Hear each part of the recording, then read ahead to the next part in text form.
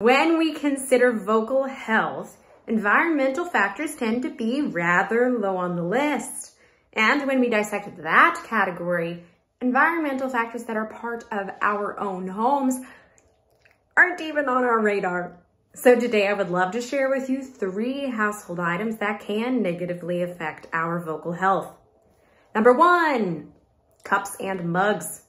Are we taking them apart completely to clean all of those nooks and crannies? And are we cleaning them after every single use? Number two, if we have a humidifier, are we changing the water regularly enough and cleaning it after every single use? And number three, your furnace filter. Are you changing it regularly enough? Thank you so much for joining me for Vocal Health Sunday. Have a wonderful rest of your day of rest.